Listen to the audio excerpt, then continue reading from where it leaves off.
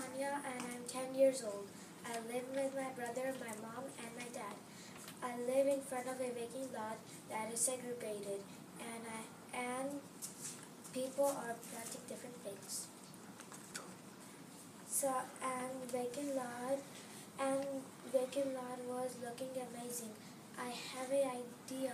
I can plant fruits because then I can give it to poor people. I started planting some fruits, but everyone was segregated. But I want everyone to be together. I will bring everyone together. I want to help the poor people to grow fruits for the poor people and then they can eat the fruit eat the fruits that I grow for them.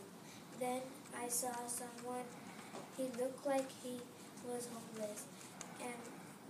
fruits were growing, so I gave some of my fruits to him. He, him. he told me that his name was Royce.